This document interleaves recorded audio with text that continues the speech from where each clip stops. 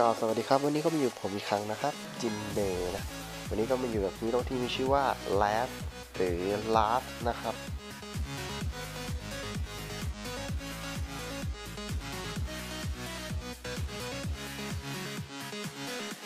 ก็ฮีโร่ตัวนี้ก็เป็นฮีโร่ที่มีความพลิ้วในระดับหนึ่งนะครับ ก็อธิบาย passive ก่อนนะครับ passive ของ skill นะ เวลาเราใช้ skill ทุก skill นะครับ แล้วเราก็กดเดินนะครับ ก็จะเป็นการโยกตัวไปนะ แล้วก็ passive อีกอย่างหนึ่งนะครับ คือเวลาเราตีปกตินะครับ ครบ 3 ครั้งนะครับ ก็จะเป็นการต่อยไปด้านหน้านะครับ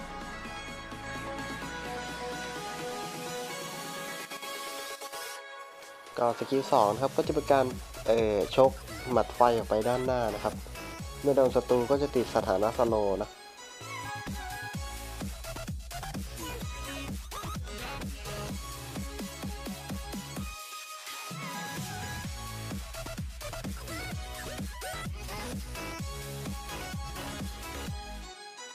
ก็ส่วนสกิลหนึ่งนะครับ ก็จะเป็นการน็อกอัพศัตรูขึ้นมานะครับ หรือการชกขึ้นมานั่นเองครับ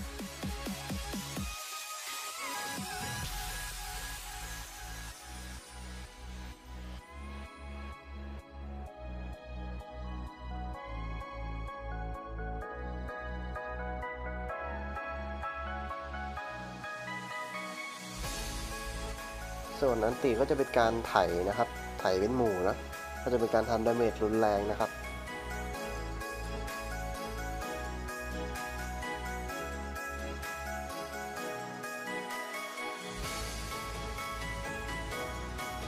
ก็พยายามประยุกต์ใช้ skill นะครับ อย่างเช่นการต่อยแล้วรีบกด skill หนึ่งนะครับ ก็จะเป็นการพุ่งไปด้านหน้าอย่างไกลนะ ก็ไกลในระดับหนึ่งเลยนะครับ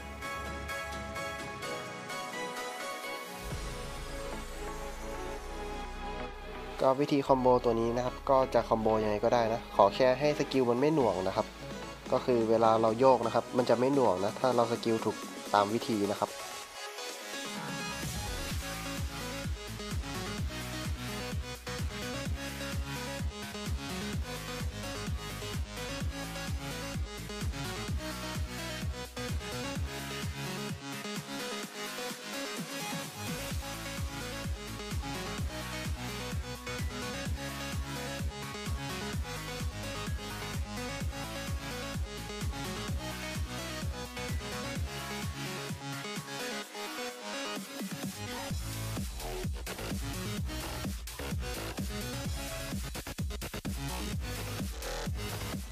ก็ต้องเราเป็นสาย Assassin m a d นะครับ ก็ต้องดูจังหวะด้วยนะ ว่าเราควรจะเข้าไปหลวงเขาหรือว่าควรจะยืนหลังโป๊กสกิล2นะครับ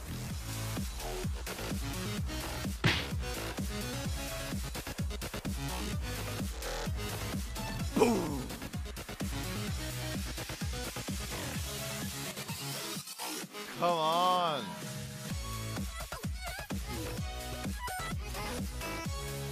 ก็ยืนล่อเขาก็ได้นะครับ ให้เพื่อนเราเข้าแทนนะ ก็ยืนรอให้เขาหิวเรานะครับ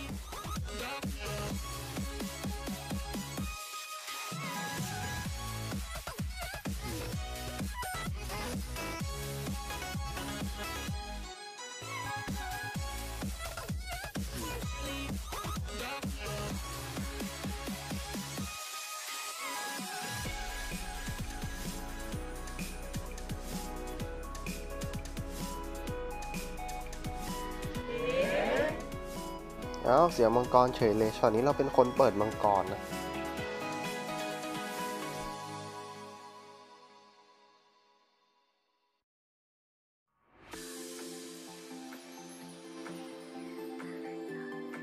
ก็ตอนนี้ก็กดมากับ Zephys กับแกลกนะครับ กดมาด้วยกัน 3 คนนะ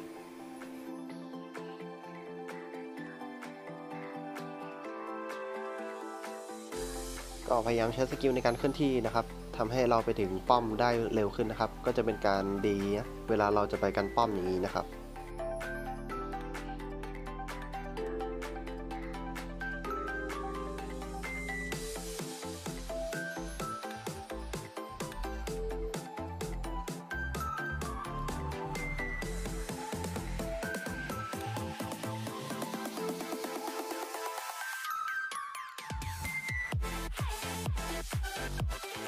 นเมดพยายามอย่าทิ้งเลนนะครับ เดี๋ยวโดนดันนะ แล้วถ้าเราเสียคลิปตอนเขาดันมาแล้วคลิปจบเออโดนป้อมฆ่านะครับ มันจะไม่คุ้มนะทำให้เราเสียเงินเป็นจำนวนมากนะครับ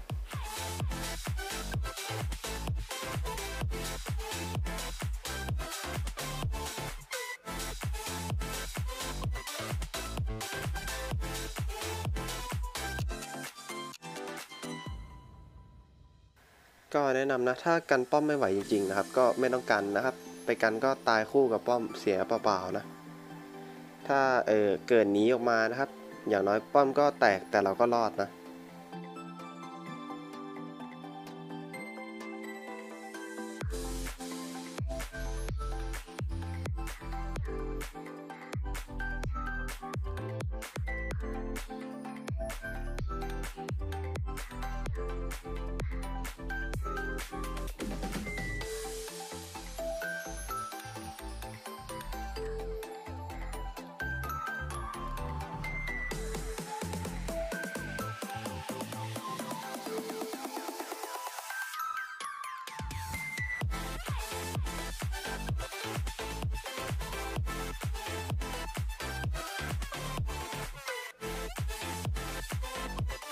ก็ไม่ควรด่าคนอื่นนะครับ ถึงเขาจะเล่นยังไงก็เถอะนะ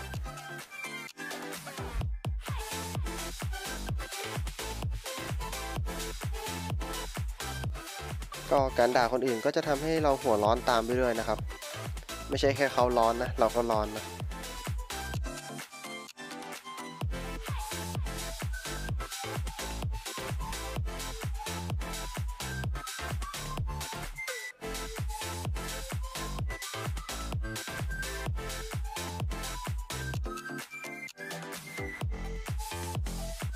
พยายามใจเย็นนะครับ เออเกมเพิ่งเริ่มนะ ถ้าเรายังไม่เสียป้อมก็ยังมีโอกาสชนะนะครับ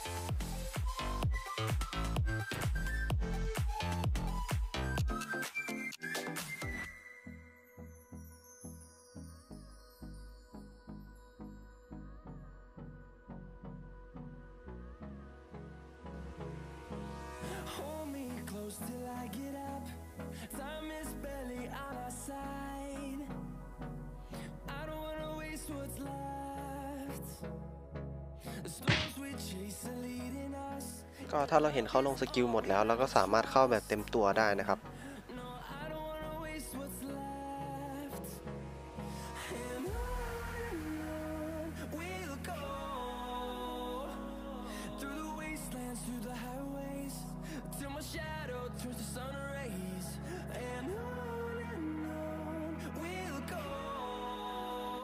ก็ชนี้กระต่ายหลงป่านะ ก็ต้องสั่งสอนหน่อยครับ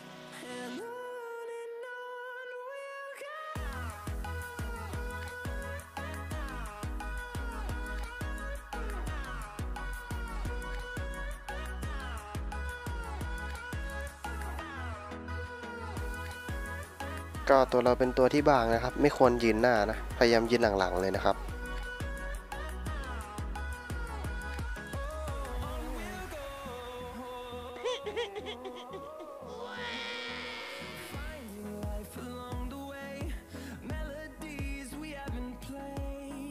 ก็ตอนนี้ลิกเตอร์แรงมากเลยนะครับ เมื่อกี้ผมเลือดเต็มนะหายไปหมดเลย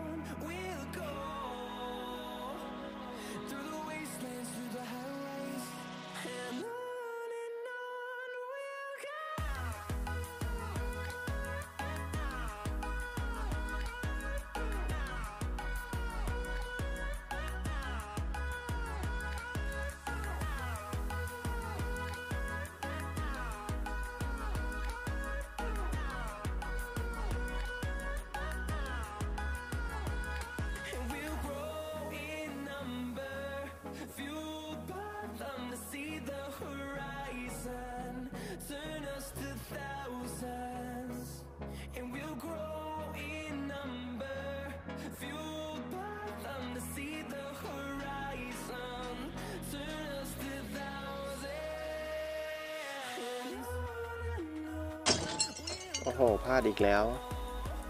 ก็ไม่ควรทำอย่างนี้นะครับ เวลาเล่นนะควรจะยืนหลังกว่านี้นะครับ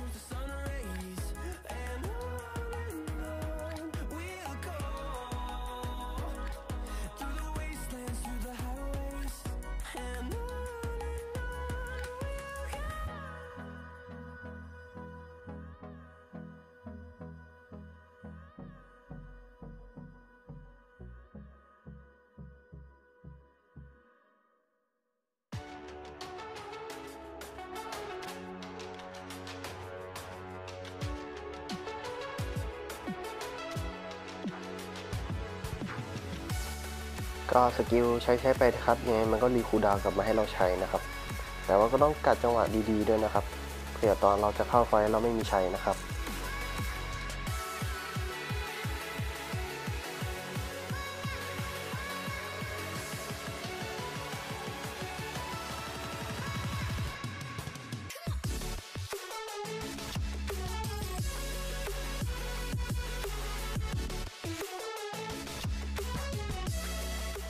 ตอนนี้ก็บทเรียนแล้วนะครับ ก็พยายามยืนหลังๆนะจะไม่เข้าลึกอีกแล้วนะ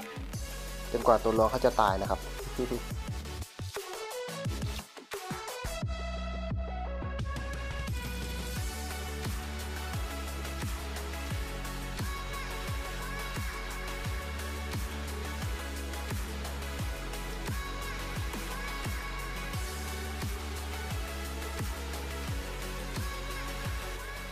โหเขายกหลบนะ หรือผมต่อยไม่โดนเองก็ไม่ดูนะ ยากมากเลยครับนี้เขาโยกหลบรัวๆเลย ก็ไม่สนใจเขาก็ได้นะ สนใจแครี่ดีกว่า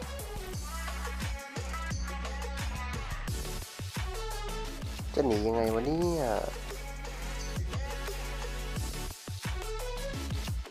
โอ้โห หมดทางไปแล้วครับ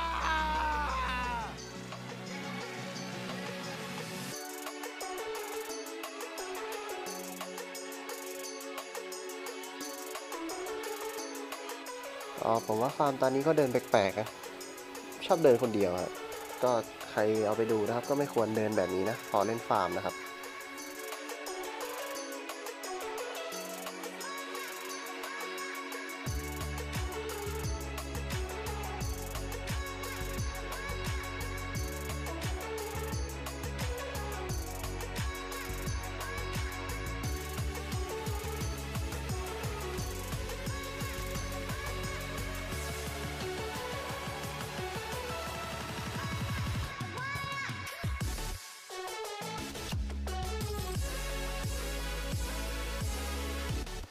ก็ถ้าเรามาเคลียร์คลิปแล้วเราค่อยไปช่วยเพื่อนก็จะมีประโยชน์นะครับ เวลาเขาจะได้ไม่โยกมาดันได้นะครับ ถ้าเขาโยกมาดันได้เขาก็จะไม่ได้ป้อมนะครับ ได้แค่เคลียร์คลิปเรานะ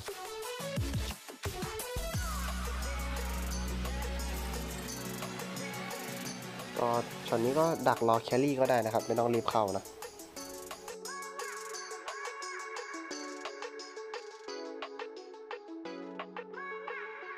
แต่ลิกเตอร์แรงมากเลยนะ ฟันผมไม่กี่ทีผมก็ตายแล้ว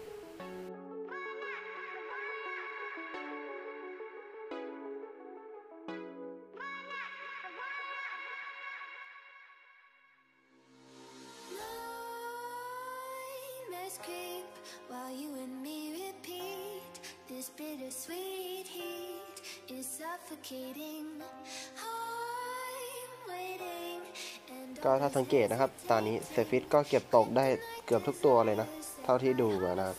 ก็ถือว่าทำดีนะ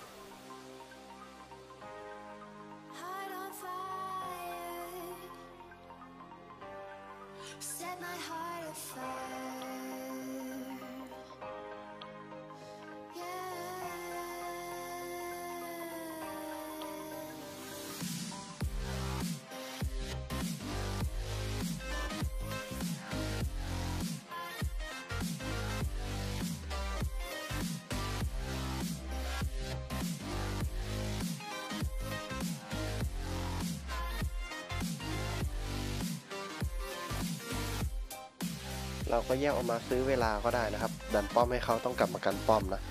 ให้เขาไม่ได้ไปไฟกับเพื่อนเรานะครับ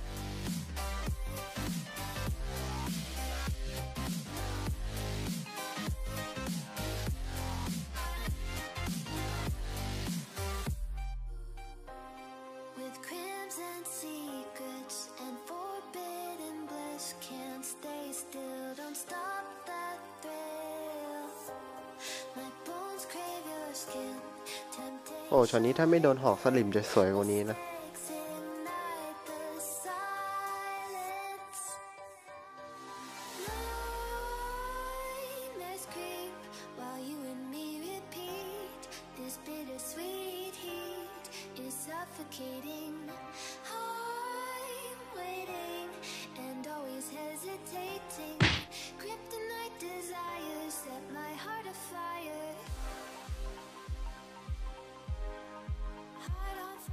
นี้ต้องรีบไปดันป้อมนะครับ พยายามบอก carry ไปดันป้อมนะจะได้ป้อม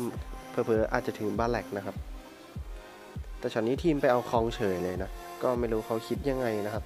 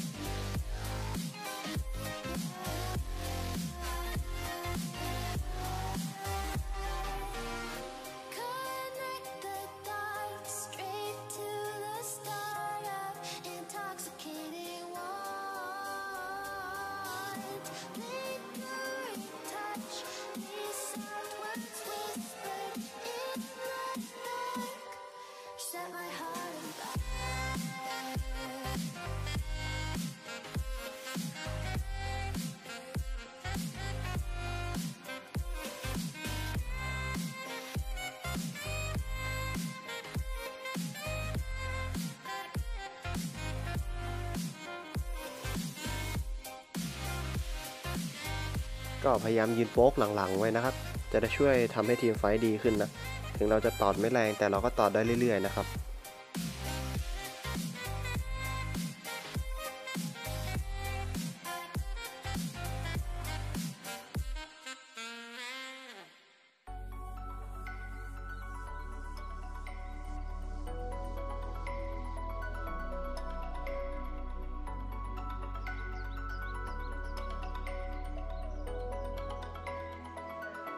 ช็อตนี้แก๊กอย่างสวยเลยนะครับ แต่เราสะดุดช่วงหนึ่งนะเมื่อกี้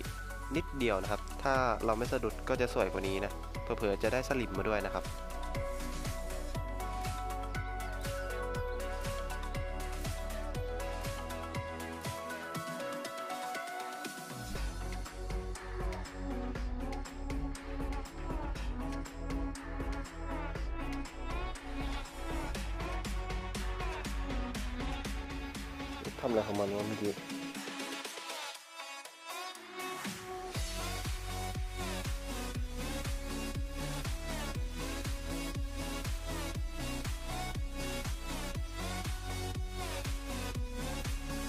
ก็พยายามโยกหลบสกิลให้เป็นนะครับ